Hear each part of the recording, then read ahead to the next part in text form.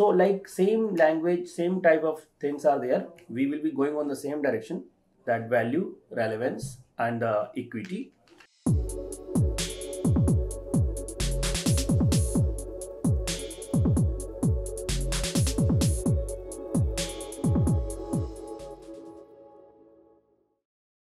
Today we'll talk about the question paper that we conducted this Saturday and uh, we'll see how we can approach this particular question paper, right?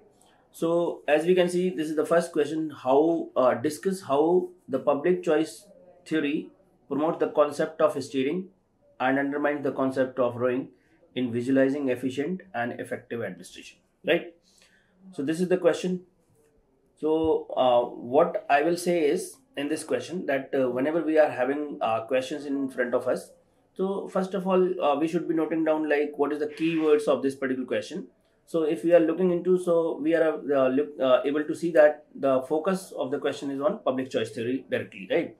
So uh, it will be better idea if we will be explaining the public choice theory briefly in the introduction. Just like what this theory is talking about. Uh, let's say uh, it's it talk about the alternate authorities and it is you know uh, talking about the role for the market and instead of like having only the uh, state as the service provider. Some other stakeholders will be the civil society organization will be there market will be there. They will be also you know uh, uh, coming into picture. I'm not talking about the question but i'm talking about the uh, idea of public choice theory right? Now the question. Discuss how public choice theory promotes the concept of steering and undermine the concept of rowing in visualizing efficient and uh, effective administration, right? So, uh, since we have already explained in the introduction what is PCA or PCT, right? So here now we will be talking about, and it will be a better idea if you can use heading also how the PCT uh, promotes the concept of steering and undermining the concept of rowing. So here you will be writing that uh, state if the state is directly involved uh, in providing services to the uh, people, then it will be overburdened and uh, you know the uh, checks and balances mechanism will be compromising because the state will be the service provider and it will be also the you know uh, bringing about the efficiency and bringing about the checks on the service provider. So it will be better idea that someone else is providing services and someone else is there to check right? So and the main idea why it is promoting the steering is that state is having so many functions to perform and it is having limited time because we are having all so many sectors in the economy. So state cannot you know jump into all the sectors directly. So it is advisable that it will be steering it will be formulating the policies it will be formulating the broad guidelines and uh, undermining the concept of rowing right? So that meaning that directly you will not be involved into providing services okay? And so you explain that what is the meaning of steering and concept rowing then this is also important that we are focusing on this in visualizing efficient and effective administration. So every time when we will be talking about the steering over rowing we will talk about that it will be able to bring about it will be having the potential to bring about the efficiency and effective administration. Okay? Sir here can we talk about these public interest groups and uh, like how exactly public interest group? Like uh, pressurizing the state to bring in the more efficient characteristics of any scheme or something. But uh, actually this is about the steering uh, and undermining. So see uh, if you are talking about the pressure groups right suppose so it will be like suppose a state is uh, into the rowing state is directly providing the services then also the role of pressure groups will be equally important and if state is just um, you know dealing with the steering only then also uh, role of um, pressure group will be equally important. So i don't think that is um, you know that suitable uh, that you can write. But on the lines of it if you will be able to uh, fit then then it is advisable that you can for example you can add the pressure groups ideas this way that uh, if other serv- other pro- service providers will be providing the services right? For example, uh, PPP model we are having, okay, and the private players are constructing the roads. So the pressure groups will be there in the market. So they will be exposing the work done by the private players. Then it may be helping, like the state will be formulating certain, you know, the check mechanism, because uh, we can say state will not be having all eyes to look into each and every work so civil society organization will be helping in checking that work so that way we can fit definitely right so i hope this is making good sense Yes, sir. Right. Now we have the npa has seriously jolted the second question npa has seriously jolted the traditional concept and outlook of the discipline and enriched the subject by imparting wider perspective by linking it closely to the society okay so basically this question is again just like the previous was based on the pct it is directly on the npa that is new public administration so we know that uh, uh, what was the background of um, coming up of new P in, uh, NPA in the, in the picture, right? So we are aware of that first Minnowbrook conference took place in 1968. Okay, and the that Minnowbrook conference was emphasizing on the changing role of society, changing nature of society. I mean to say, right? So what was taking place there? That uh, we were having the issue of poverty, we were having the issue of uh, recession, unemployment. All those issues were going on on uh, during that period, right? So it was felt, it was realized that the traditional public administration is not in a position to uh, you know deal with all the emerging issues. So now the NPA is coming into picture, and NPA is coming up with the new ideas. What were the new ideas? Like the equity, like the relevance, and the value that if the state is providing services to the people it should be having equity. Like you cannot just provide the services uh, just you are for the sake of providing services and it is not uh, bringing about the equi- equity in the society. It is not bringing about the fair justice. And then relevance i mentioned like what kind of policies you are making. Now it has become important that it should be relevant to the people. And value should be also there. That value component should be also taking place. So that way okay so now we understood ki what is this npa and what idea is this promoted. Now i'll read the question again.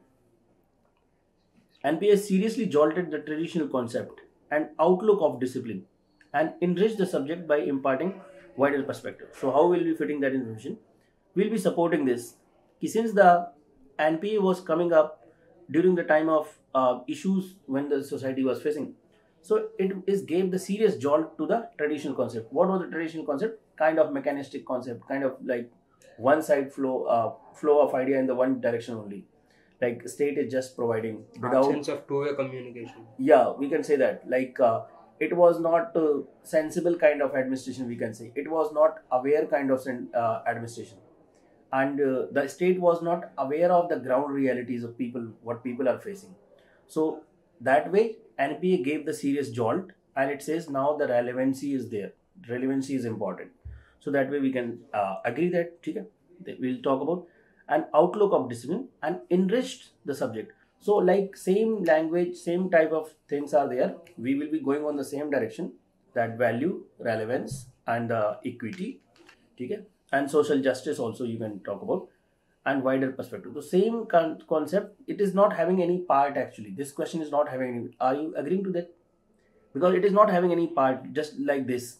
ना the only one, one idea First that you are can be how does it separate its traditional like new values from that of traditional concepts, and then uh, this uh, bringing in the equity Ah, that way you right but the idea is flowing in the same direction. Like Hmm. you are just talking about the features of npa and how it is giving serious jolt and how it is you know uh, outlook of discipline it is uh, you know changing and how it is enriching. So ideas of npa are same and it is bringing about this also this also this also. So we are just confirming and the uh, answer can be completed this way.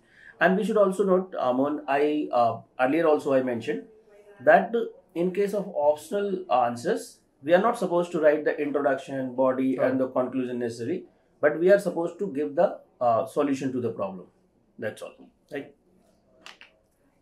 So uh, now we will have this uh, uh, question. And this question is a very famous type of question and very relevant question that we can say. So here we have even after 135 year of its publication woodrow wilson essay the study of uh, administration continues to have great relevance even today so it is uh, because of a particular reason. Okay. And uh, we are aware of this why this statement is being made. Right. So you you just can you give your insight like what is your understanding? Uh, why it is being said that even after 135 years of its public, uh, publication it is important. So basically uh, in our classes we discuss that woodrow wilson was giving the concept of political administration dichotomy and that political administration dichotomy was what? That when the public administration was em- uh, emerging out of the mother discipline that is political political science so it was uh, argued that uh, what is the need of having a new discipline called public administration? Since the uh, objective of political science is to bring about the welfare of the people by establishing you know relevant authority legitimate authority and setting the rules and regulations all that political science is already uh, having that. So ultimately political science is also having the objective as welfare of people. Public administration will be also having welfare of uh, objective. So what is the difference? Why we why we need any new discipline called public administration? So at that point of time woodrow wilson uh, came up with that particular essay that is study of administration. And in that essay he was highlighting that the political questions are different and the administrative questions are different the problems of politics and the administration are different. And we can agree to this. We, we can see. For example um, let's say government is coming up with any particular policy. Okay. For example agnipath scheme we can talk about. Okay. So agnipath scheme can be brought because of the political reasons. Right? And it may uh, will be mainly dealing with the policy making part. Right but implementation is the work of administration so how you can say that uh, po- political science is there then it will be it is sufficient to you know deal with the uh, all the affairs implementation also and execution part execution part so definitely particularly specialized domain is required for this uh, like implementation and execution part so these were the ha- argument of uh, Woodrow woodrow Wilson. wilson ठीक है so political administration dichotomy. He is saying politics is different administration is different. Now question is saying even after 135 years of its publication woodrow wilson essays the study of administration continues to have great relevance even today. Because today also there is issue between the politics and administration. We are not having very uh, you know watertight separation. Still things are overlapping. Still issues are going on. What is the work of politics? What is the work of administration so that way can we say that it is you know uh, having the equal relevance? Okay. So that is the logic number one. The other logic is that wilson talks about that public administration is about or administration is about science of administration. So science of administration is, is still evolving is still you know uh, dealing with or uh, yeah science of administration is one that uh, here all the aspect that we are having within the public administration it is using the scientific principles. It is you know utilizing various theories given by various thinkers. So that way we can say that it is having it. And moreover the most importantly he talked about that the public administration is just like the business. Okay. So if he is highlighting public administration is like business so can we agree to that that the this essay is having you know continuous uh, relevance even today? Because uh, ultimately you are the IAS officer okay? So uh, you will be working for the organization right? So your goal will be also to manage the uh, resources effectively and ultimately bring about the profit to the organization. So that we can say that yes what he was saying that public administration is like business so it is that. And moreover uh, Gulick and Urwick talks about the POSDCORB, right? Planning, organizing, um, reporting, directing, coordinating, all those. So, are we not implementing, uh, incorporating all those principles in the public administration? yeah We are definitely. So that we can say that ki, yes, what he mentioned that public administration is like a business, it is reflecting even today, right?